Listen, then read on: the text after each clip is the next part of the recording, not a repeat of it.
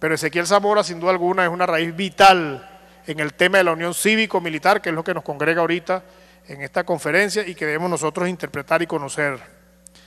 Aquí yo les traje, dentro del marco ideológico, una visión que yo estoy trabajando sobre lo que es el árbol de las tres raíces. No sé si ustedes las ven bien en la pantalla. Las tres raíces, en mi criterio, serán siempre Zamora, Bolívar y Simón Rodríguez, porque ese es el fundamento histórico que está anclado en nuestra historia, que está anclado en la médula espinal de nuestra sociedad, porque viene de años de construcción. Y Chávez, nuestro comandante, hizo de esas raíces un tronco poderoso de pensamiento y de acción, porque nuestro comandante tuvo una gran virtud que quizás muchos revolucionarios no han alcanzado, es que no se, limitó a la discusión ideológica y a la creación de conceptos, él se atrevió a más. El comandante Chávez se atrevió a crear cosas, a crear métodos, a crear, a generar acciones permanentes de transformación en nuestra sociedad que fue lo que logró, sin duda alguna, transformar la situación social de Venezuela en un lapso tan corto de tiempo, de 14 años. El árbol de las tres raíces eh, debe tener como fruto final la máxima felicidad del pueblo.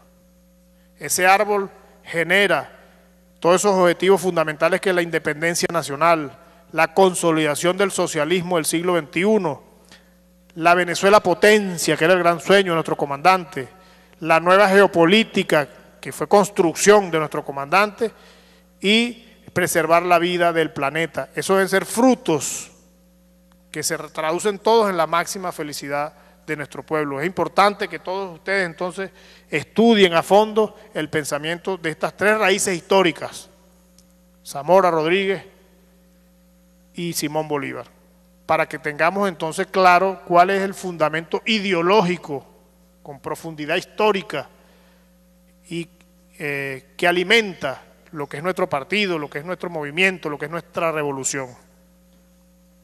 También hay un librito que a lo mejor lo cargan por ahí, que es el libro rojo. Ahí habla de, de la revolución armada. Y aquí venía mi reflexión sobre la milicia y lo que es la, la revolución. Nuestro comandante siempre dijo nuestra revolución es pacífica, pero está armada.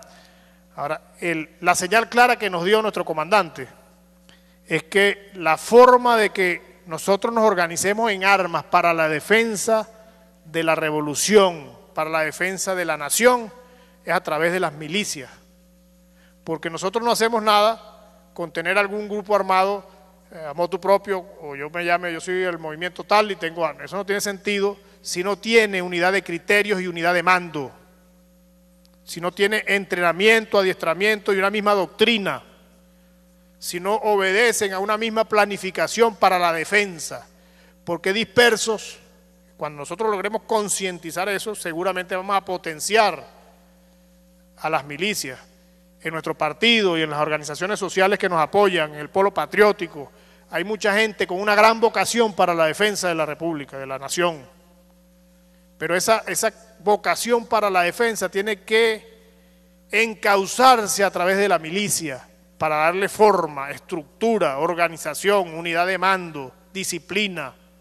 Y eso sí nos va a permitir a nosotros tener un bloque sólido para defender la revolución por los años siguientes, por 100 años y por el tiempo que esta revolución permanezca transformando nuestras realidades. Entonces es importante esa reflexión.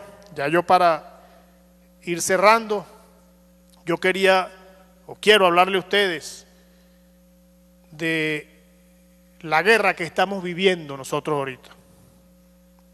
La guerra que estamos enfrentando como venezolanos, como sociedad, como pueblo, como revolución fundamentalmente.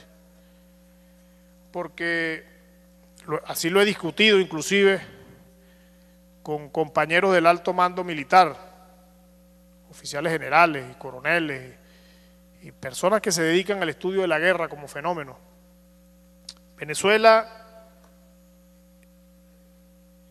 por el hecho de que es la revolución bolivariana, una punta de lanza en la transformación, suramericana se ha convertido en un objetivo fundamental del más poderoso imperio que ha tenido la historia de la humanidad. Lo que pasa es que su manera de hacer implosionar nuestra revolución y nuestra sociedad es muy distinta a las otras maneras que están aplicando en otros continentes. Ellos saben que si ellos alborotan el Medio Oriente o África o a cualquier otro sector del planeta, ellos van a estar bien alejados de esa realidad de la guerra. Pero que si alborotan y traen la guerra por la vía tradicional al continente suramericano, van a tener todo un continente en llamas y que está cerquita de ellos. Entonces ya no les conviene hacernos a nosotros la guerra por la misma vía o con los mismos métodos que le aplican a otras naciones y a otras latitudes, a otros continentes. Por eso nosotros estamos siendo sometidos a una guerra de cuarta generación, la llaman algunos así. Y mi discusión con los altos mandos es saber si nosotros estamos adiestrados, equipados y lo más importante, unidos al pueblo para poder enfrentar esa guerra. Porque esa forma de guerra de cuarta generación no se logra enfrentar y derrotar solo con la Fuerza Armada. Al contrario, es más derrotable esa guerra con la unidad del pueblo que con la misma Fuerza Armada Nacional Bolivariana. El pueblo unido es inderrotable en una guerra como esta. Y le voy a poner un ejemplo.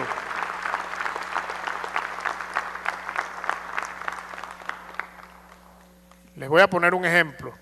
El tema del contrabando, que está haciendo tanto daño a nuestro país y a nuestro sistema de distribución de alimentos y artículos de primera necesidad. ¿Quién tiene más presencia en la frontera? ¿La Fuerza Armada o el pueblo? El pueblo. ¿Quién sabe más la realidad de lo que pasa? ¿La Fuerza Armada o el pueblo? El pueblo, ¿verdad? Porque lo vive. Y no separando a la Fuerza Armada del pueblo, sino que, bueno, una contingente de hombres que llega allá, que no conoce, que está empezando a conocer y que está siendo sometido permanentemente a distintas formas de corrupción, de mil cosas que pasan ahí. Pero el pueblo está ahí todos los días, vive ahí, sobrevive ahí.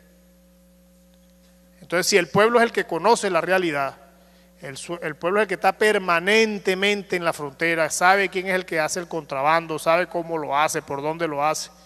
¿Quién debería ser la punta de lanza en esta batalla contra el contrabando que no hace tanto daño? El pueblo. ¿Y quién organiza al pueblo chavista? El partido. Entonces ahí es donde yo hago las reflexiones para ganar la lucha contra el contrabando. Si no se integra al pueblo organizado, en el partido, en las milicias, con su Fuerza Armada, no vamos a vencer esa batalla. Entonces ese es el llamado fundamental y es una de las líneas que hay en esa forma de guerra que nos están aplicando.